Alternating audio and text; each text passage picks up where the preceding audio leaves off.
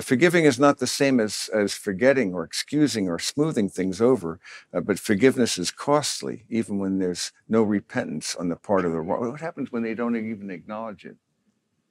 There you see, once again, it is a process, not an event. And every time you do it, you realize you were given far more than you were asked to forgive.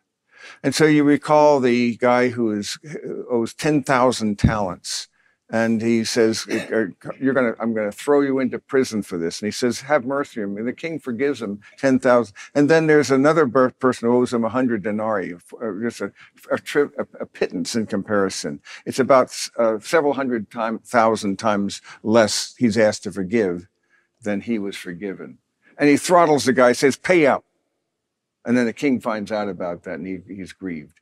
You get the idea. You were forgiven vastly more than you're ever asked to forgive.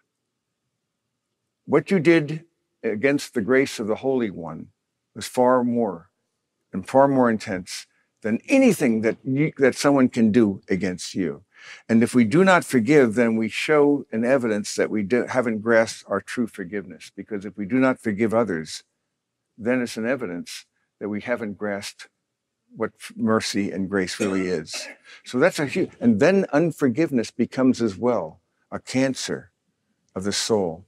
It produces a brood of bitterness and of resentment. And then you become identified as a victim.